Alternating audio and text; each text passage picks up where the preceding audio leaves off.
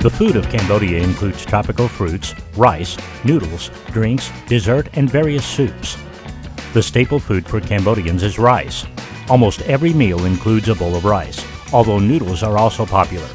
A wide range of curries, soups, and stir fries are served with rice. Many rice varieties are available in Cambodia, including aromatic rice and glutinous or sticky rice. The latter is more commonly found in desserts with fruits like durian. Khmer cuisine shares much in common with the food of neighboring Thailand, although it is generally not as spicy, and Vietnam, with whom it shares and adopts many common dishes and a colonial history, both being part of the French colonial empire in Southeast Asia. It has also drawn upon influences from the cuisines of China and France, both of whom are powerful players in Cambodian history. Curry dishes known as kari show a trace of cultural influence from India.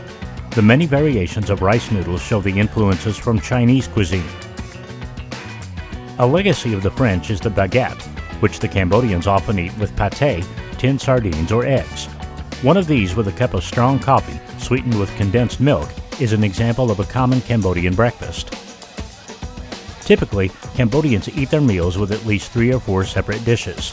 A meal will usually include a soup, or samlor, served alongside the main courses. Each individual dish will be either sweet, sour, salty, or bitter.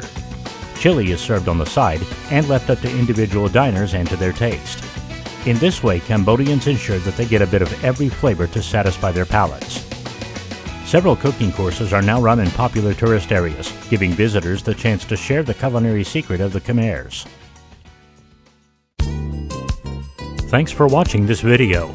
If you enjoyed it, please subscribe to our YouTube channel or follow us on these social networks. If you have any comments, please post them below in the comments section. See you next time.